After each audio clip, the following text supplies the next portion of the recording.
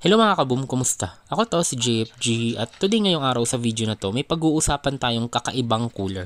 Ang tawag dito is radiator magnetic cooler.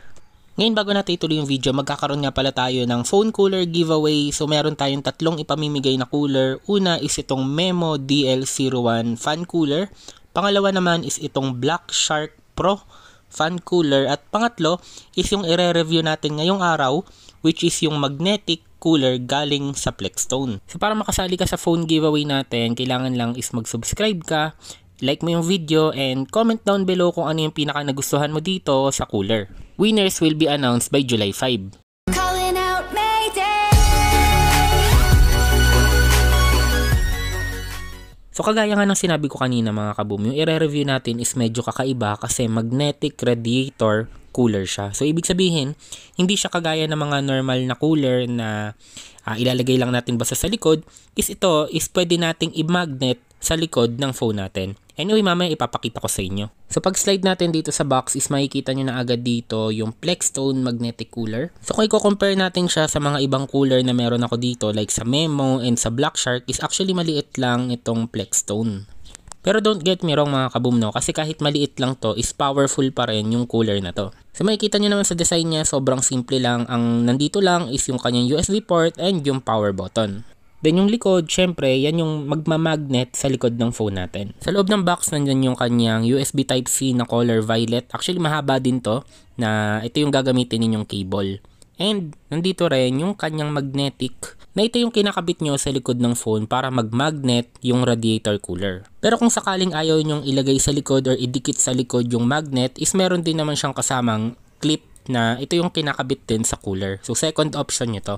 So ito yung sinasabi ko kanina na pwede nyo ito ilagay sa likod nyo. So may double-sided tape na siyang naka-built-in sa likod pero hindi naman lahat tayo is gusto natin na may nakadikit sa likod ng phone natin na ganito na mahirap tanggalin. Kaya ang ipapakita ko sa video na to is yung gagamit tayo ng clip. So ito na itsura ng cooler natin pag may clip. So parang naging kagaya na rin din siya ng Black Shark or ng Memo. Pero papakita ko sa inyo kung ano yung nagpapaganda dito. So ito yung nagustuhan ko sa kanya mga kaboom no. So hindi siya tumatama sa power button natin. I mean kahit tumama siya, hindi siya hindi niya napipindot yung power button natin. Hindi kagaya ng sa Black Shark or ng sa Memo na pag yun yung ginamit natin at tumama sa power button is napipindot niya. Ang maganda kasi dito is medyo pa-curved yung clip niya. Kaya talagang hindi tumatama sa power button natin kahit na nakalock in place siya. Pero anyway, simulan na natin i-test itong cooler. So yung magiging base natin is 37 degree to 36 degree yung CPU. Tapos yung battery natin is 29 degree Celsius. Then maglalaro tayo at full brightness and maximum din yung sound and maximum din yung graphics and yung frame rate sa Call of Duty. So ang gagawin muna natin is lalaroin natin to ng walang cooler tapos i-test natin siya ng may cooler.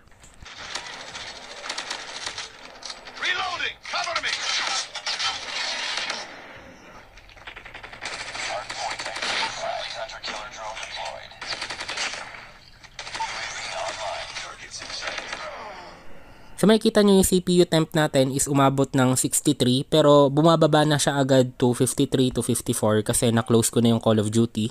Pero nung naka-open pa siya at kakasilip ko dito sa CPU is pumalo siya ng 60 mahigit. Then yung battery natin is 43 degree Celsius. Ngayon after ilang minutes ng pahinga eh sinubukan ko na agad siya ng may cooler.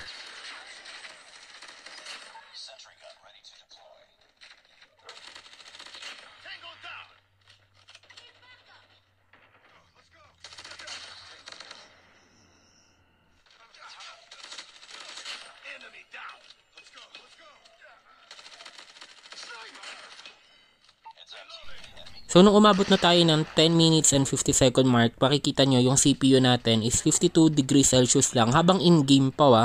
Tapos yung battery natin 31 degrees Celsius lang habang in-game pa din. Hindi katulad kanina is in-exit ko na yung Call of Duty kasi mainit na actually yung Poco X3 ko sa likod. Um, hindi ko na siya mahawakan ng walang case. Medyo naiinitan yung kamay ko kaya kinlose ko yung Call of Duty pero mataas pa rin yung ah, temperature niya.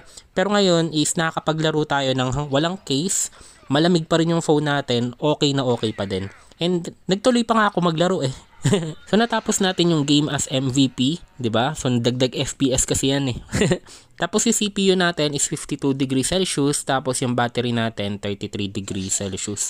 So pinaka-affected talaga dito ah, nakakababa talaga siya ng battery temperature. So, para sa akin, solid. So, dagdag ko lang pala mga kaboom, no? meron siyang dalawang mode. Una, pag naka-green siya, ang tawag dito is deep cool mode. And ngayon, pag pinindot pa ulit natin yung button niya, is magiging color blue siya. Ang tawag dito is overclocking mode.